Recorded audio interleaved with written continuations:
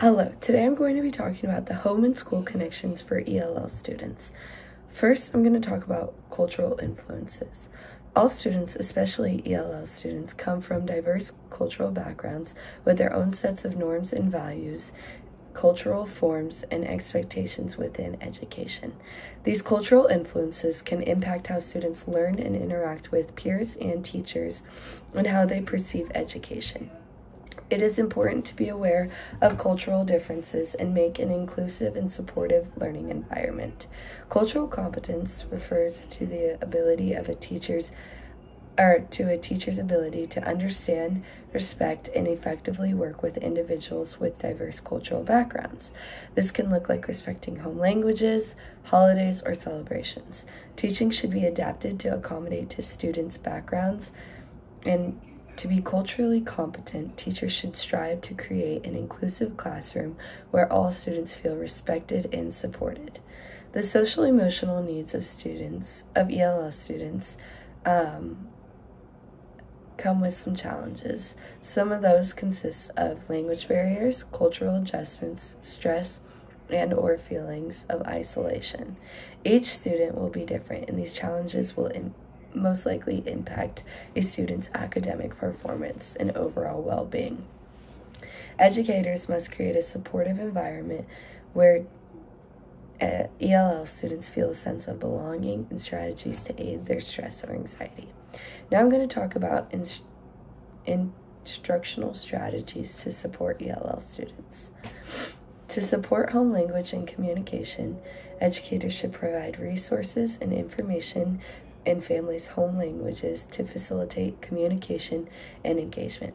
We should also encourage families to share personal stories, songs, and cultural traditions in their home language during school activities or cultural events.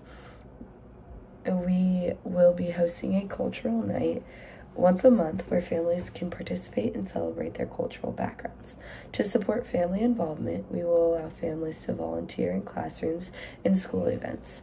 This will allow families to become active in their children's education, and we will also have flexible scheduling for parent teacher meetings and school events to accommodate working parents or those with multiple children.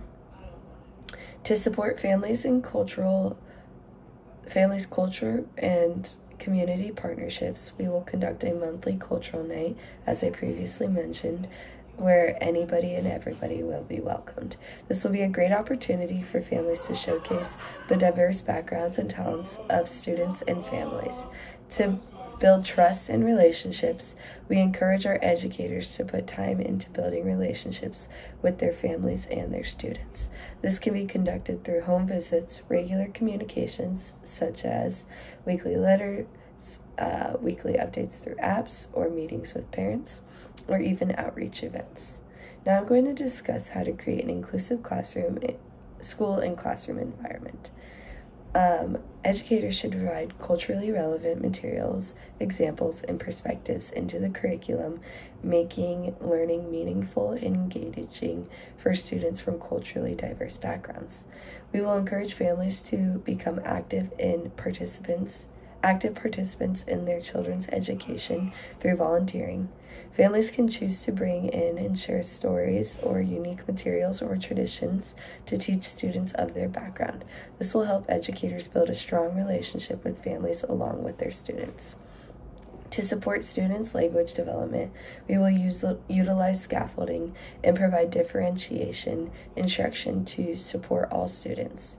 We will create a safe and loving classroom environment where all students feel heard and valued. We will teach we should teach our students how to support and uplift each other. We will have ongoing professional development opportunities for teachers to enhance their cultural competence and language awareness and instructional strategies for diverse learners. So, the role of family and community in ESL, ELL students. Family is often the primary source of language input for young children. Families should be encouraged to support their students' learning through storytelling, conversation, and reading out loud to provide valuable opportunities for language exposure and vocabulary development. Young children need constant motivation, so we should be encouraging our families to have positive attitude attitudes towards language learning as it enhances students' confidence, motivation, and endurance in learning.